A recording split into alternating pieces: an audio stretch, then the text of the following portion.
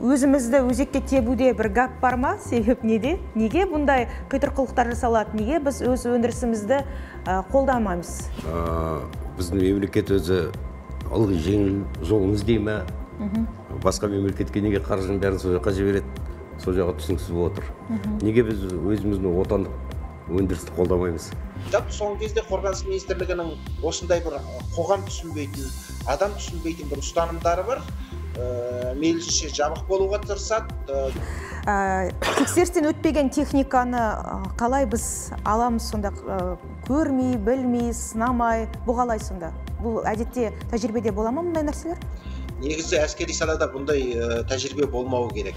Біз бұрын көбінде дайын техниканы мен сатып алумен сатып алумен ғана айналыстық. Ә, 90 жылдары кеңес одағы тарайтын тұста қазақстанда қорғаныс өнеркәсібіне қызмет ететін ә, нақты әскери және ә, қос мақсатты елуге жуық елуден астам зауыт болды.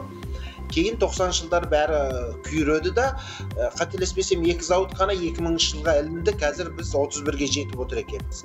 Қорғаныс министрлігі ә, біз туралы тек қана теріс ақпарат таратып жүр және толық емес мына интернетте жүрді бір, бір қатар жаңағыдегі біздің көлік бір ә, бір жерден өте алмай қалды тоқтап қалды деп. Оны сол видеоны дәл сол жерден қысқартып қойғандаған ары қарай оның жалғасы бар. Дәл сол, сол көлігіміз сол жаңағыдегі ана сынақтан өтіп жатыр яғни ол жаңағыдегі ана жүргізушіге байланысты. Бірақ неге екені түсініксіз қорғаныс министрлігі бақ құралдарына жаңағыдегі ана өте алмай қалған жерінен көрсетті да өтіп кейін барлығы дұрыс болған жерден ешқандай көрсетпейді.